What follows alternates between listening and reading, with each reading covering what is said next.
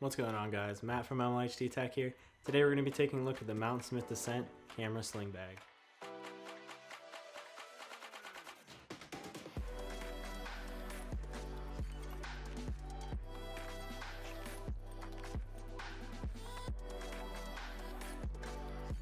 in case you guys didn't know, the point of a sling bag is it is one strap, so when you wear it over your shoulder, you're just able to pull it around, swing it under, open up the pocket, and get to your stuff without having to set it on the ground. It's a really easy way to carry around a lot of stuff and be able to get to it quickly. Now opening up the main pocket, you'll notice that both sides are soft Velcro, so the yellow dividers that it comes with can be placed anywhere and in any configuration that you want. And I've noticed they are pretty nice, they do stick really well, and they're a lot nicer than some of like the cheap stuff you get off of an Amazon bag. Now inside the main pocket of the bag, you can hold a lot because it is a pretty large pocket. I comfortably fit a DSLR with a smaller lens, a 70 to 200, another small lens or some accessories like an LED light, and then there's actually some more pockets on the bottom that you can stick something under if you're only going to need it every once in a while. And what's really nice about that configuration is you have quick access to everything. Like you can just pull the camera out of the main pocket. If you need another lens, you can set your current lens in, pull another one out, and that way you don't have to deal with holding a lens like under your arm or something. And it's just a really simple, fluent process. Moving out of the pocket, looking at the lid, you have two mesh pockets with nice zippers on them.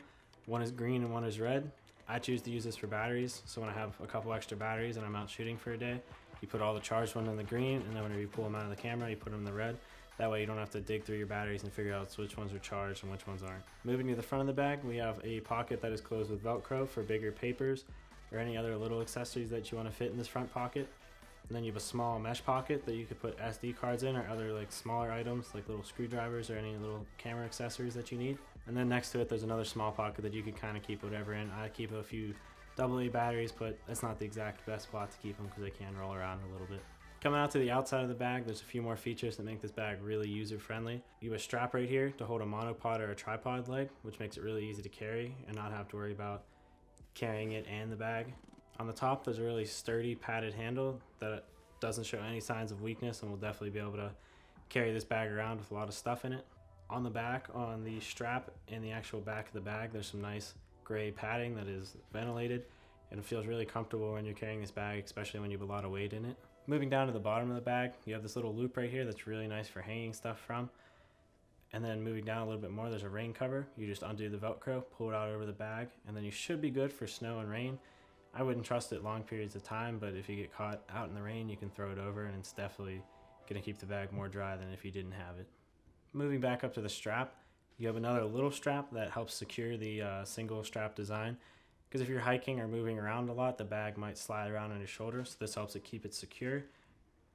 Now the strap is adjustable in two different ways. You can move it up and down on the strap, and you can tighten it and clamp it down to fit your size and needs.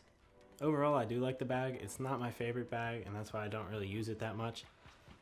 It does have a really nice big capacity, and the dividers are high quality, so you're able to set it up any way that works for you. Overall, I was able to fit a 7D Mark II in here with a battery grip and a 70 to 200 along with a flash and wireless flash triggers, which it was really nice to be able to fit that in one pocket and have the accessibility of the sling bag, but that's where you kind of run into the problem of the sling bag is it only has one strap. Now the one strap is nice to be functional like that, but it does start to dig in your shoulder when you have high weight loads inside of the bag, which is why I tend to lean more to a backpack. And another benefit to the backpack is definitely most backpacks have a laptop sleeve, which is like really nice. Because if you were going to use this and you need to edit on the go, you're going to have to carry a second backpack or a second bag to carry your laptop, which kind of slows you down carrying two bags versus one. Overall, I do like it. I can't recommend it for the high price that Mountainsmith has it listed at. Maybe if you could find one used, if you really need a sling bag. But overall, I'd say find something a little cheaper, maybe an Amazon Basics bag or something, some kind of backpack that's cheaper and holds more overall being more functional. Alright guys, thanks for watching. If you enjoyed the video, make sure to leave a like and a comment. If you want to check out some more tech reviews, remember to subscribe and check back often. It's been Matt from MLHD Tech. See you guys later.